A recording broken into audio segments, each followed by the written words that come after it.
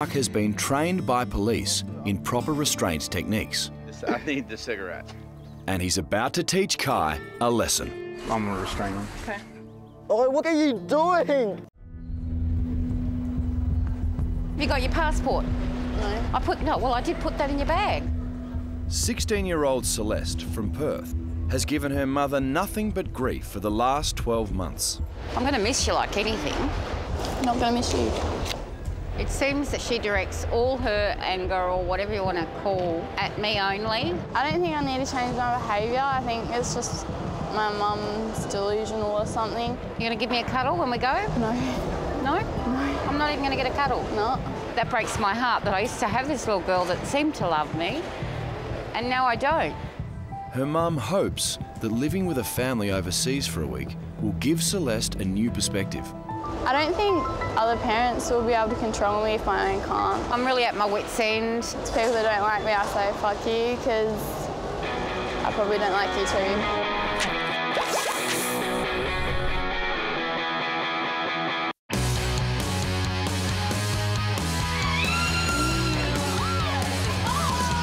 Every weekend we go out, we get drunk. Let's get slizzard. Or in our words, slizzard. we drank from funnels, we played beer pong. One night there was four girls and we had 51 litres of booze and we downed it all. I actually named her Celeste because Celeste means a gift from heaven. She's always been quite out there as far as her personality goes, but from the age of about 13, she's just got worse and worse. She really makes me cry at times. You know what doing it while my friends are here sleeping after we go out. Seriously, don't ever do this again. I feel like I've got to pull my hair out because I just don't know what to do with this kid anymore. I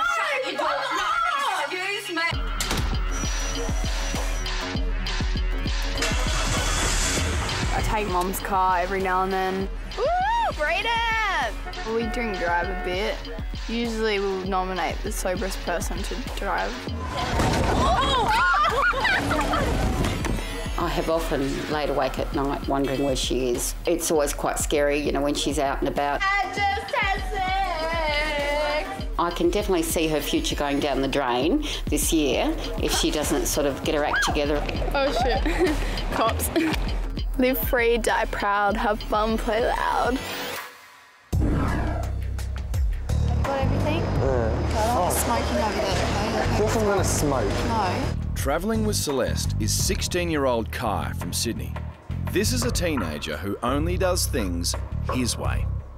Kai's bad attitude, I think it has a lot to do with not having an appreciation for the things he has, like his family, his home, lack of respect. You know, not allowed to have your phone, Kai. Can't you get your phone? I don't have it. I think I'm like a little troublemaker, to be honest. When you go, just Have a little respect. have a bit of respe- Uh, respect for other people. Respect. Jay's at her wit's end. She doesn't sleep hardly at all at night. I like my behaviour how it is. I don't think these people overseas can change me one bit. They can have fun trying.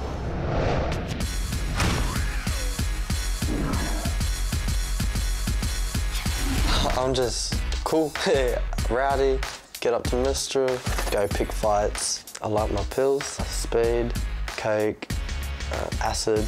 I love the affection girls give me. Um, I think it's my look, just in general. The people who he mixes up with, they're dangerous. Well, sometimes I get a job it's for rolling someone. I go out, I bash the person, and I take the stuff and leg it. I have that fear that he's going to end up dead. Kai does come across fearless. Nothing's going to ever happen to him. I'm just walking through the town centre, which I'm not meant to be in. If he gets caught walking through there, he'll be arrested. And I mean, that leads to a criminal record. What's going on? It's a bomb. Can you leave my room? Can you shut up? No. I just do things to piss her off because she's pissed me off. Oi, oi, oi! Personally, I get very concerned that he's cutting his life very short. I don't think I understand how happy I am right now. I feel helpless. I- I'm losing here. Yeah, I'm loving life. It's mad. Sell? No. It'd be nice to. Well, I'll catch you later. Bye. Our teens are heading to the USA and the state of North Carolina. Dad Mark is an international equine specialist, and Mum Becky has her hands full with Sydney, Chloe, and baby Anderson. Mark's parents also live on the farm. This is a family that's focused on showing troubled teens a different path. We use horses for therapy for at-risk kids. This jump here is going to represent something that you guys have got to get over and get past. Uh, we have hundreds of kids that come through here on a monthly basis. Here they deal with tough kids and hand out tough love. Jadakiss, were you talking? Yes. It's also important for the teens to learn about caring for others um, besides themselves. Yeah. Everybody has responsibilities, and the animals come first. My parents are very strong-willed and they're not afraid to deal out consequences. Sydney, have you been out to check on the goat and feed her yet? Not yet. You need to get that done. Everybody here has to pull their own weight. We need to go ahead and divvy up the chores. The teens cannot smoke, and there will be no swearing. They're responsible for their own laundry, help with breakfast, load and unload the dishwasher. All the animals at the barn need to be fed, just anything that, that I see that needs to be done. If the teens just refuse to be a part of our family, well, then their world's gonna stop. I think if it came down to a battle between us and the teens, we would win.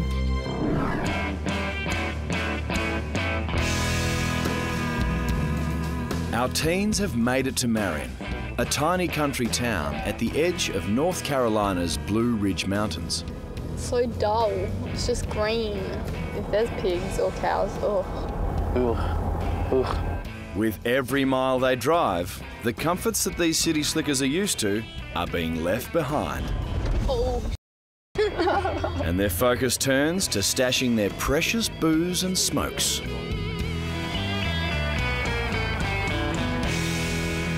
Oh my god. They look so boring. Oh, they don't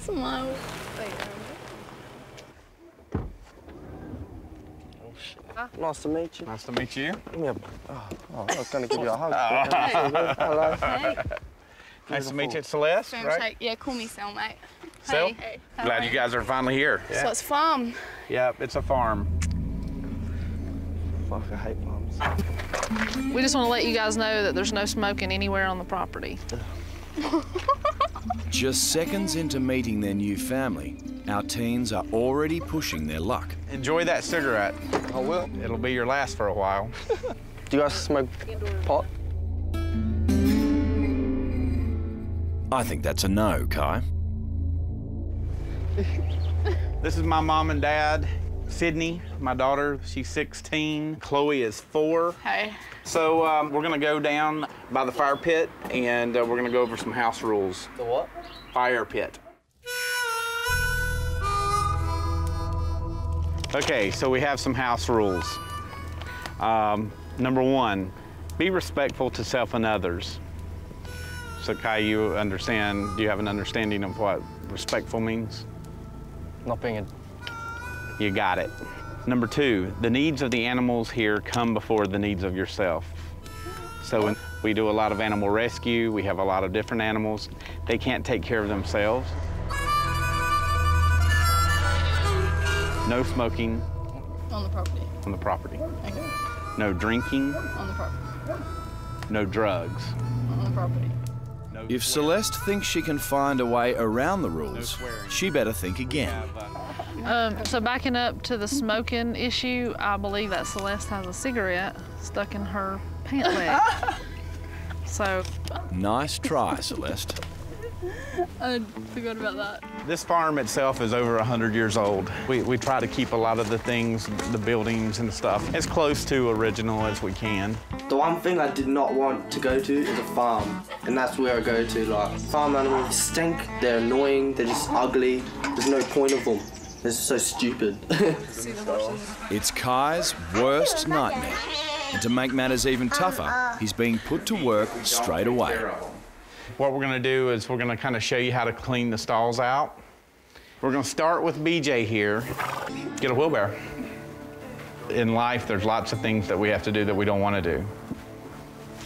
Their Do you have a world's bathroom? stopping. If you're not willing to do what we're asking you to do to take care of the animals, I'm not gonna provide you with the luxury of a toilet. I'm just gonna go around there then, eh? All right. I heard a flicker of a uh, cigarette lighter. Yeah? You know, you're pushing limits with me. What do you mean? You're smoking a cigarette? That's not gonna happen.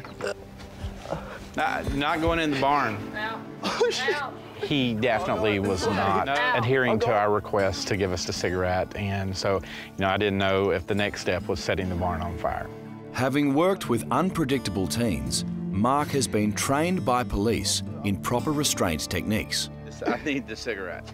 And he's about to teach Kai a lesson. I'm gonna restrain him. Okay. Oh, what are you doing? You know, I, I made a choice when I had him restrained not to lay him down in the mud. He was begging me, oh, and I wanted to show a little compassion. All right, Lighter now. Oh, let me finish. Oh, you... just to let you know that this behavior has broken any trust that I may have started developing for you. So when we go to unpack, we'll unpack for you, and you're gonna be searched. It's clear the teens haven't impressed anyone. Are you expecting to find something out of this? If you blatantly lit a cigarette at the end of the barn, then I- I'm not gonna trust a damn thing you do. You should put your arms up over your head like this. What? Jackpot. A dozen bottles of alcohol, along with cigarettes, have been discovered, smuggled in Celeste's bag. And they get the Lytle zero tolerance treatment. Nah, that's. Not even Kai's grog that's stashed in the lining of Celeste's handbag is safe.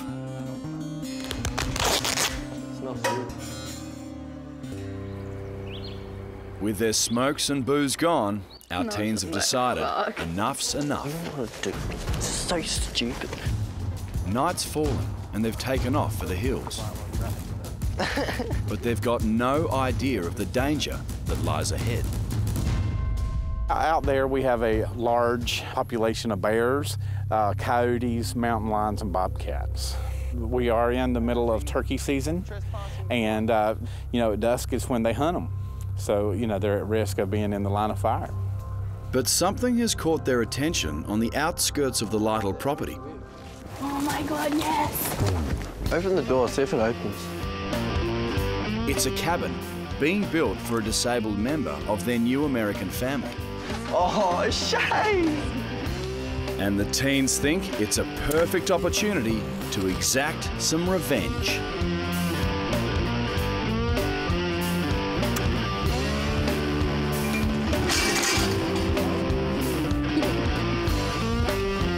My basketball skills.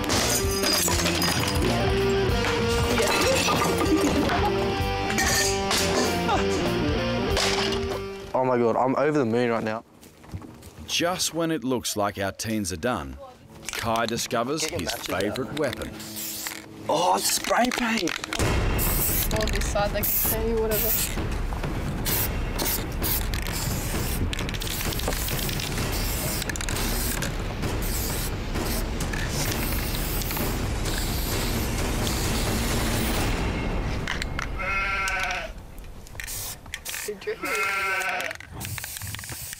The teens have discovered Stella, a sick sheep that was rescued by the Lytles. Let's just colour it in. And vandalise their sheep. How random is that, eh? By abusing Stella, Kai and Celeste have broken the sacred rule of respecting all animals. Oh, we should have done a cow. Our teens have no idea of the trouble they've just bought themselves. The first light of the new day reveals the full impact of their destruction. Mark is on his morning walk when he lays eyes on the crime scene. Well, looks like they've had a little fun right there.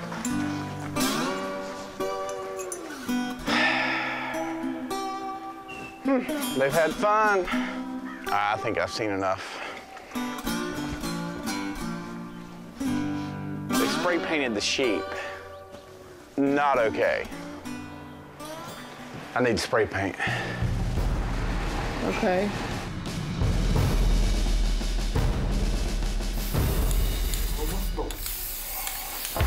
Mark gives the teens a taste of their own medicine. What are you doing? Eye for an eye, tooth for a tooth. Oh, what are you doing?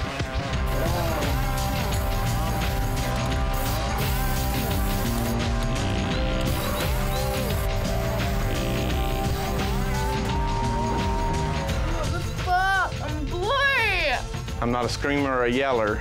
I have natural consequences. Okay? While Celeste runs for the shower, Kai refuses to budge. So Mark decides to up the pressure. Oh, what is that? you wait, I'll get you back.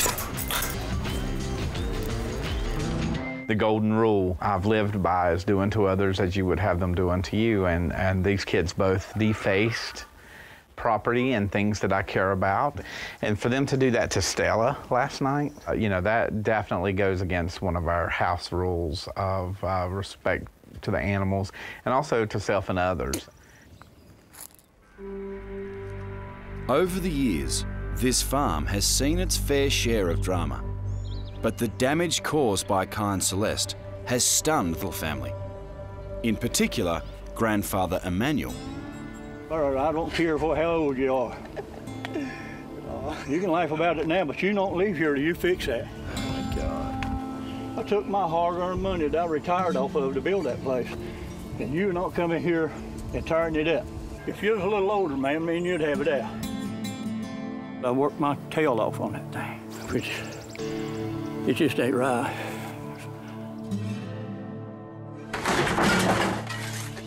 Yeah, I'm not scared of some old man. While Kai is clearly not prepared to take a backward step, Mark isn't budging either. What are you doing? He's confiscated Kai's favourite shoes, as well as Celeste's iPod.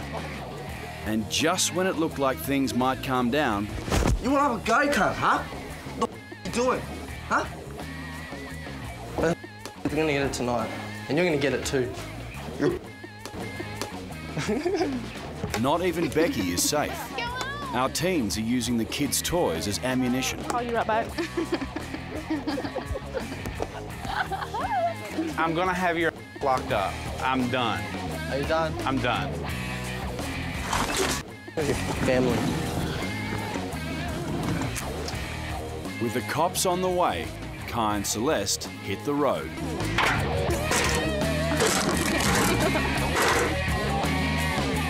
That's a federal offense.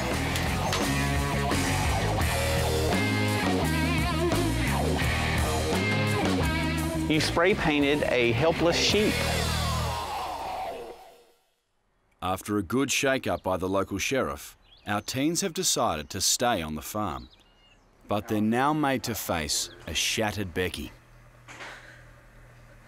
I took my children somewhere else because I don't trust you, either of you. And I shouldn't have to do that because this is my home.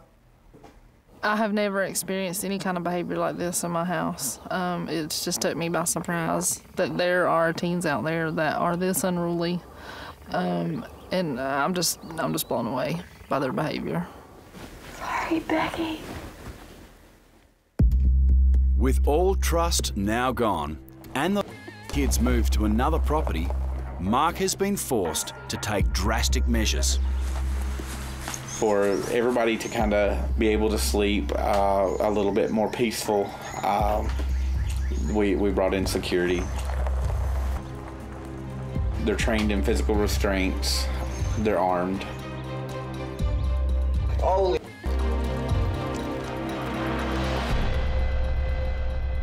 Uh, we're not playing games anymore. But Kai and Celeste don't see what all the fuss is about. We vandalised sheep.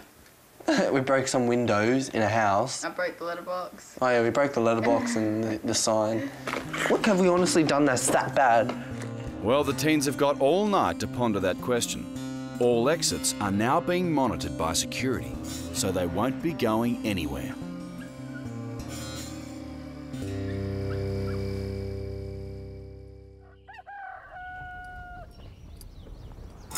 Kai, time to get up.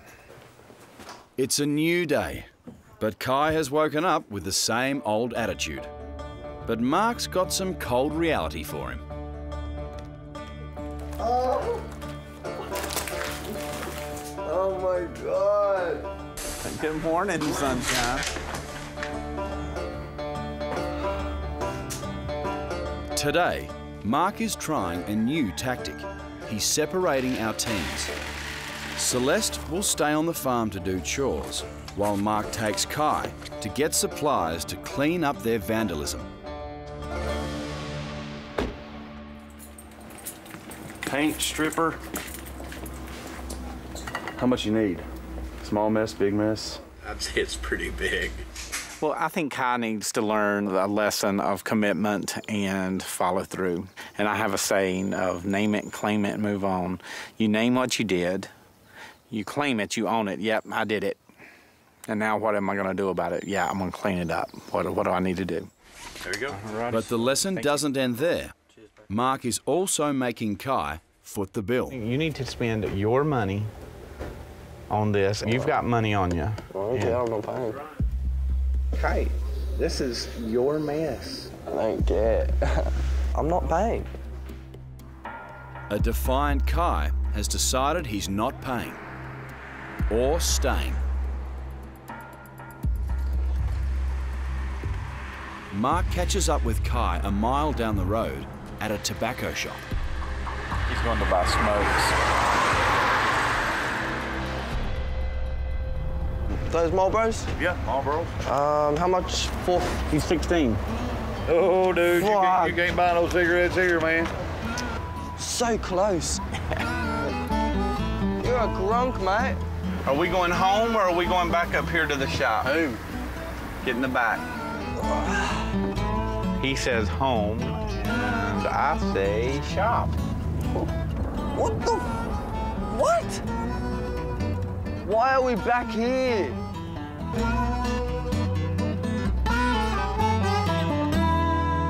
But Kai is still trying to dictate terms. Well, if I can get ciggies, then I'll happily buy it. I'm not negotiating. I'll give you the money, but I'm not going in. I don't What is want wrong the money. I need you to go buy that stuff. And that is littering. I do not give two. I don't care about your environment, bro. The consequences are tomorrow you're going to jail. I'm like, oh, fine, I'll be a mature one out of us. That stubborn teen nil, persistent parent one. You know, I think Kai really thinks that I'm trying to show him who's boss. And in reality, I'm trying to keep his butt out of jail. But before they can leave the hardware store, there's one other small matter to take care of. If you want it picked up, you can pick it up yourself. Fine. There you go, that's trash for you. Mark feels that today could be a turning point in Kai's stay. He spots another opportunity to teach Kai a lesson. It's a prison crew on community service duty. I seen you guys out here and thought maybe if he uh, see that you guys aren't having a, a picnic, that he might learn something from it. Prison rules forbid these inmates from appearing on camera, but they still insist on giving Kai a warning. Yeah, it's, it's, it's easy to get in trouble, but you know what I'm saying? It's, it's hard to get out of it. It ain't no picnic. Not what you think it is. Yeah, they, can- they can get you. We get paid 70 cents a day. 70 cents. 70 cents today. 350 a week. Damn.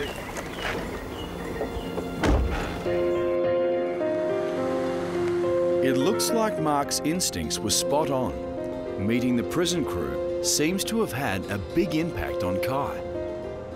makes me feel like like something's actually kicked into me. I don't know. I should be in juvie now, but I got another caution. Normally you get three and I've got a lucky four. But next time I might not have another chance, so like, I don't know, maybe I should knuckle down. Back at the farm, our teens are allowed to see each other again. But this time, they're joining forces for a positive reason.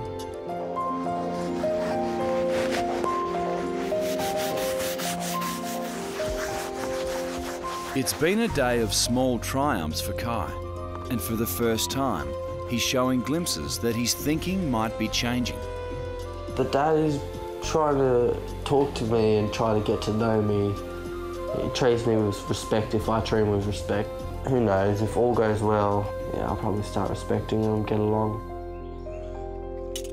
Celeste is playing along with the cleanup, but she's only doing the bare minimum. Celeste? I'm not touching glass. I don't really like them. I don't care if they don't like me. They're strange people, and after this week, I don't plan on ever socialising with them again. I just hate it. Everyone is starting to wonder if Celeste is one teen who is beyond redemption.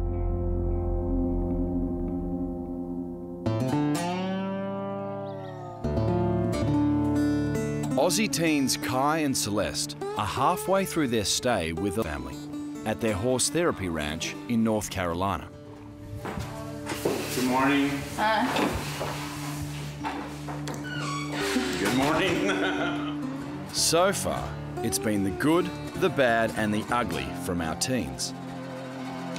But today, Mark is finally getting a chance to show them what this ranch is renowned for.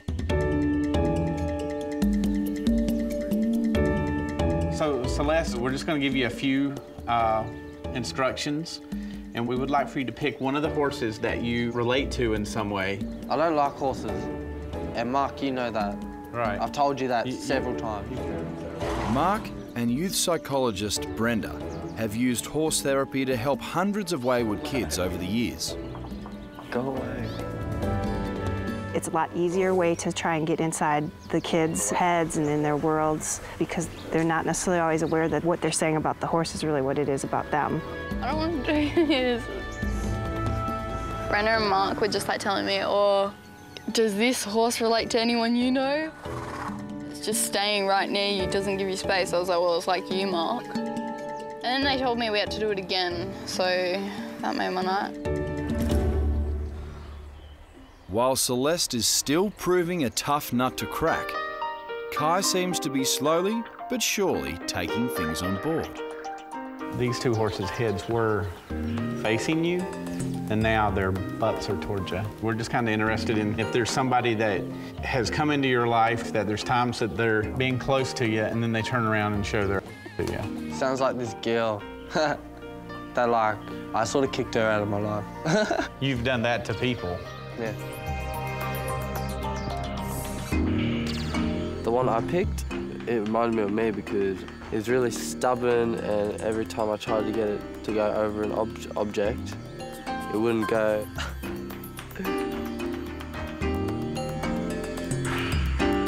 yeah, it, it just started a lot of things with the other animals as well, I noticed. It's actually pretty cool, like, it's interesting learning more things about yourself. With Kai's continued progress, it's time to give him a message from home. To my beautiful son Kai, I must say that home is definitely empty without you, and I'm missing you so much. I still find it difficult to comprehend you being on the other side of the world. I remember how I used to fret when Grandma or Nana would insist on babysitting you for the night. Even taking you to have your needles was an absolute nightmare for me. The sound of your crying tore my heart into a thousand pieces. So, my son, it's no secret how fearful and panicked I get when you go out with your friends and you don't call or even come home for days. I know that you're yearning for independence and the freedom to make your own choices. But sometimes life has a way of taking us in directions that we may not wish to go. Over the years, your dad and I have lost a lot of good friends and family members to poor choices. I couldn't bear the thought that I outlived my only son. I want you to know that no matter what life throws our way, I know you can rise above it. You'll always have my support and shoulder as long as you keep striving. Love you, my boy, always, Mum. Now I actually realise how much she's hurting and how much I've been hurting her. It doesn't feel good, like, to know that you've hurt your mum like that for that long. I reckon I'm gonna have to change, like, change something about it. Kai knows he's got some fences to mend. And a visit from grandfather gives him a chance to get the ball rolling. Come down here today to uh, try to make peace with you. Uh, I just didn't want you to go back home thinking that I still had anger in my heart for you. Just don't want you feeling bad towards me, and I sure don't feel bad at you. Yeah. Okay. Sorry, bro. Okay. I'm sorry for what I did, yeah. Pretty stupid, eh? This family's made me feel for other people. Yeah, I do think this trip's like a new beginning, like of a new me. While Kai has clearly turned a corner, Celeste is still stuck in her old ways. Oh my god. What will it take to get through to this stubborn teen?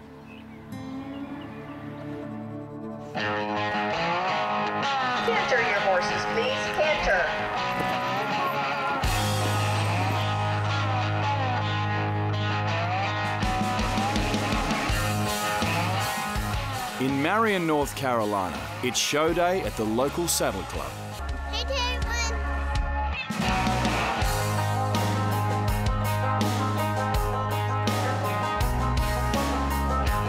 After a week of gradual improvement, Kai seems to be enjoying himself.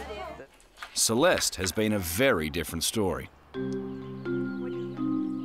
They've tried big Ow, it bit me. and they've tried small.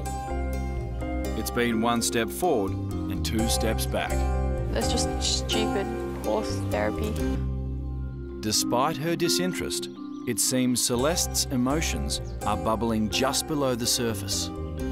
I'm sick of this now. I want to go. I don't want to be here. I hate this place. I hate the family.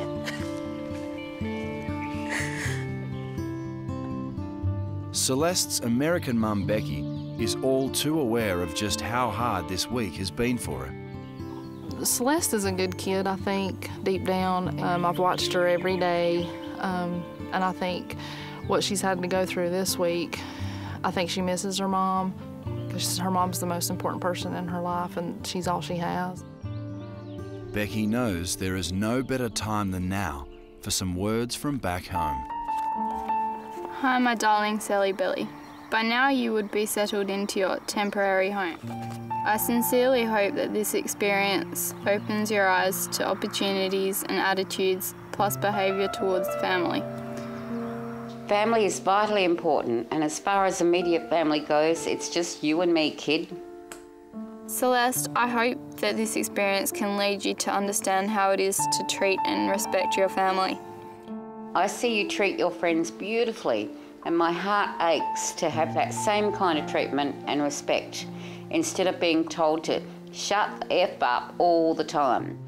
Nobody should be spoken to like that, and least of all the one person that loves you so unconditionally as I do. I can't accept it anymore.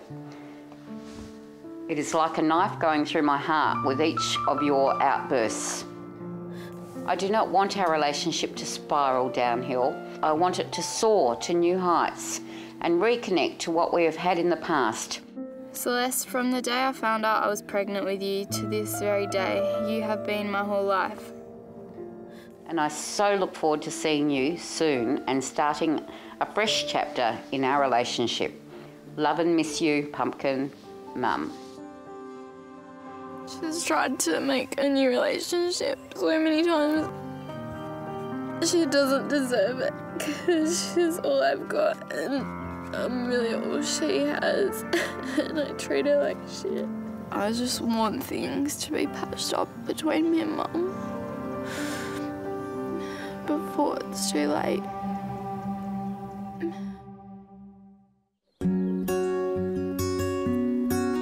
While she may have found the horse therapy challenging, a softer side to Celeste has certainly been coming through with four year old Chloe. You have the longest eyelashes, they're so pretty. Thanks. After such a tough day, Becky has decided that Celeste needs an outing with the girls. They're visiting a local adventure park. It's Chloe's first time on the high ropes, and Becky wants Celeste to be a part of it. Oh, she looks so cute. Her foot's like the size of each hole. Yeah. Yeah. I've really grown on Chloe and hope she just doesn't turn out how I did when she's 16. This week has given me a new perspective on life itself because I now know that like everything is determined by choices so I just need to learn the right ones. Know, she understands what she needs to do to turn her life around. Um, and I think if she puts her mind to it, that, that she'll be able to do it. But the question still remains will Celeste's new perspective stay with her when she lands back home?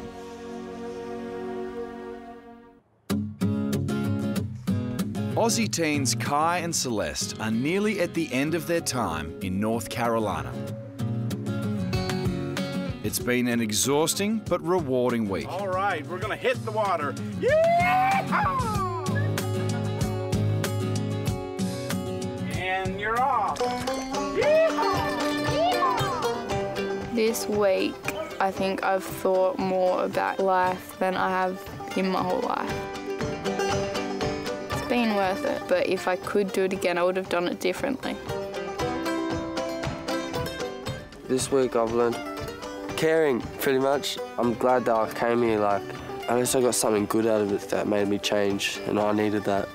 I don't even feel like drinking, and let alone smoking. They're amazing people.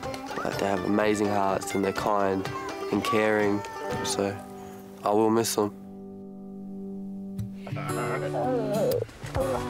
It's time for our teens to leave North Carolina, and everyone's sad to say goodbye. Bye, Chloe. Bye. Well, almost everyone. Bye bye. My little one. Yeah, we, this week has ended the way I thought it would, but in no way did it start the way I thought it would. I'm so sorry. Thank you. I think in the long run, their experience here will help them to turn their life around. Come here, give me a hug. See ya.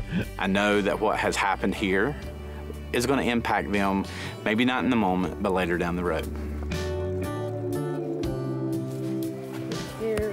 Bye. It's been rough, but it's been rewarding. But absolutely 100% I'd do it again.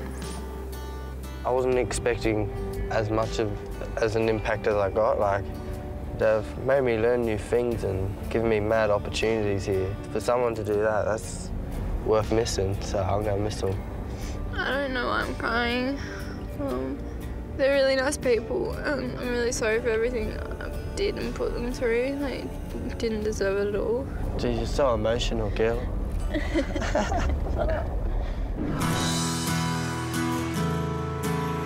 Yeah, I'm so excited. I'm happy I'm back in Sydney. I'm looking forward to seeing everybody. Before I went overseas, I was a little shit, and um, they've made me think and learn more things about myself, which I should improve.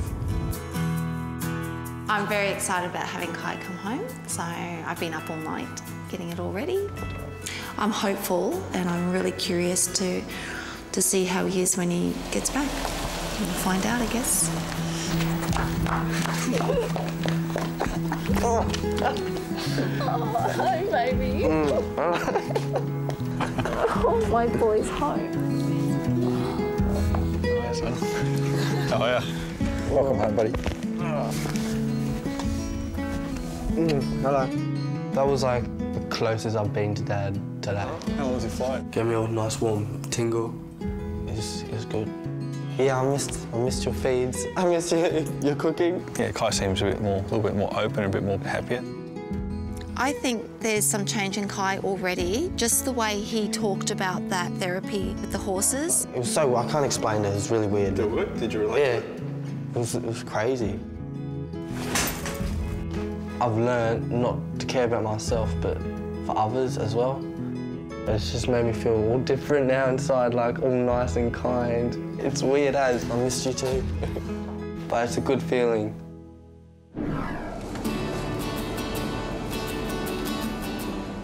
It was so good to be home.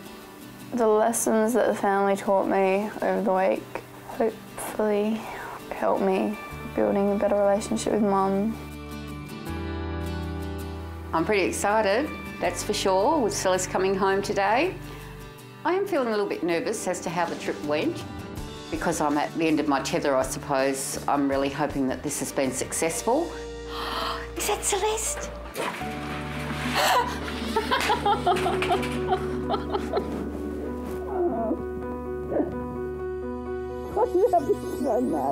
Hello, my precious girl. How are you? She was very affectionate, the most affection I feel I've had from her for a long time. sorry. Sorry for what?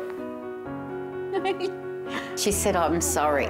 And I'm sorry is not something that's usually part of her vocabulary towards me. Mm. Everything. Oh, are you? Well, let's just make it better, eh? So to actually feel and see that emotion again was quite heart-rending. Mm. I quit smoking. Well, I'm very happy about that. I've changed the way that I think about doing things. So I think I'll be able to handle not going out as much and drinking as much.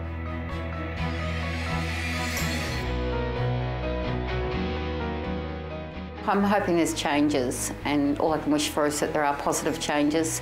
So far, so good. Let's just, you know, cross our fingers. Hopefully, this experience turns things around.